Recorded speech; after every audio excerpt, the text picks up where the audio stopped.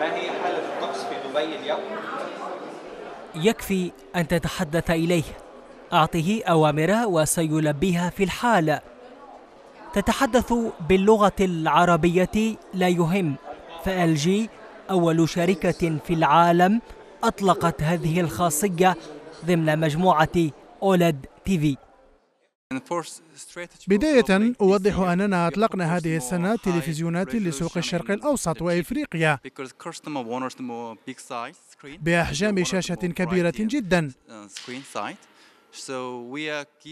نحاول أن نجعل الزبون يرى صورة أقرب إلى الواقع. نحن نقدم حلولا عبر تقنية الذكاء الاصطناعي للتواصل مع التلفاز. لأول مرة في العالم يدمج التلفاز باللغة العربية. ليس من السهل أن يتعرف التلفاز على هذه اللغة. لكننا في شركة ال جي رفعنا التحدي.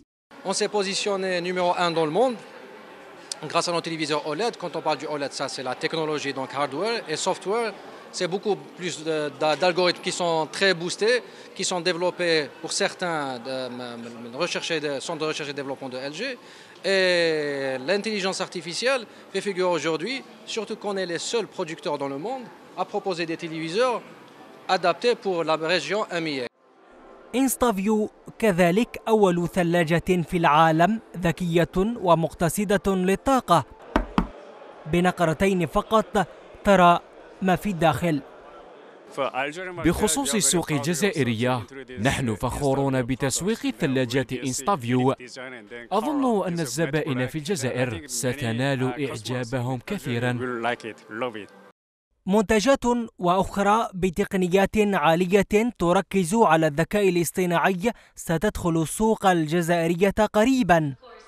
رصدتها عدسة نوميديا في كوريا الجنوبية على هامش مهرجان الإبداع InnoFest لشركة LG هذه السنة.